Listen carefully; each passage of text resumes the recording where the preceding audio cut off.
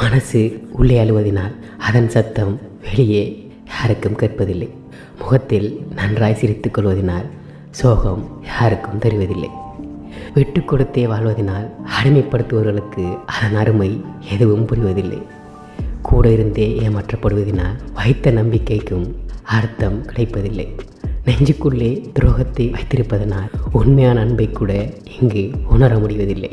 வீண் வழிகளை ஏற்கத் தொடங்கினால் மேலும் துயர் வந்து சேர தவறுவதில்லை. எல்லா வழிகளையும் தாங்க துணிந்து விட்டால் சந்தோஷமாக இருப்பதாக நடிப்பதை தவிர வேறு வழியே இல்லை.